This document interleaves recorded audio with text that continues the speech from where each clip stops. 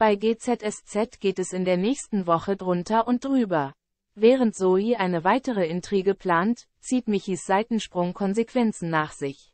Dass Nicole den Hochzeitstermin plötzlich unbedingt vorziehen wollte, war für Michi eine willkommene Maßnahme, um sich von Maren abzulenken.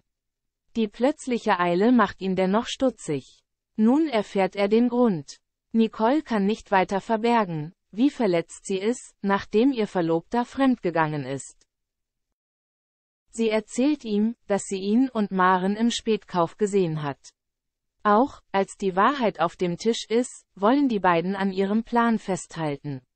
Ausgerechnet von außen wird dieser ins Wanken gebracht. Tobias nimmt seine Pflicht als Trauzeuge ernst und redet seinem Freund kurz vor dem Standesamt ins Gewissen. Maren ist mir egal, behauptet dieser verärgert. Tobias weiß es besser. Das stimmt nicht und das weißt du auch.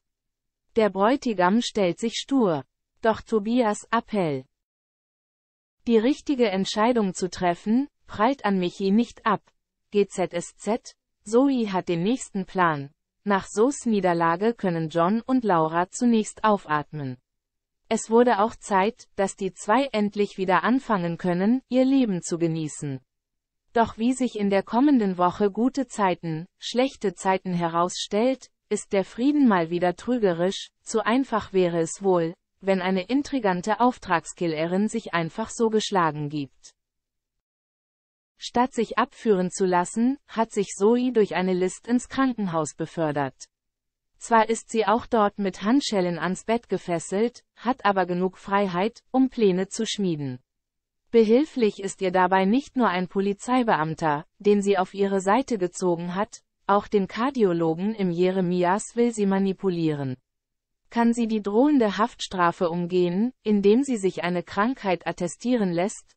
John nutzt die Ruhe vor dem Sturm derweil für etwas ganz Besonderes und macht Laura den lange geplanten Heiratsantrag.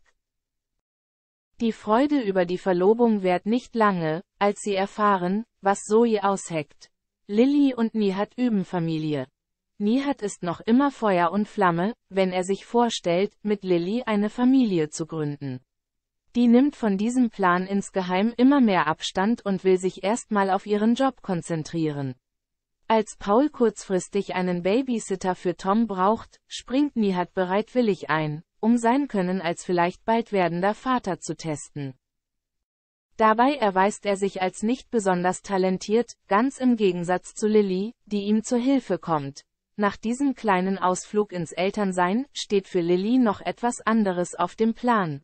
Eine Verabredung mit Emily. Nachdem die beiden zuerst nicht viel miteinander anfangen konnten, haben sie sich inzwischen fast ein wenig angefreundet.